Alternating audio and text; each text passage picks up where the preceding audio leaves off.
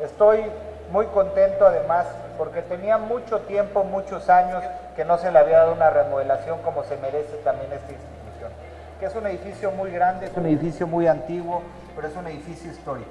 Y que hoy que estamos a unos cuantos meses de cumplir 500 años como ciudad, parte importante de lo que hicimos con la pasada administración estatal y dando continuidad ahora es precisamente poder mejorar la infraestructura de nuestros espacios educativos en la zona centro, que son también los más antiguos y en general los más necesitados. Y solo para finalizar, quiero una vez más agradecerle su paciencia, felicitarnos porque esta obra, que ha sido una obra que durante muchos años esperó, por fin llegó, y decirles también que vamos a seguir trabajando todos los días para apoyar la educación en Veracruz. Veracruz, te quiero.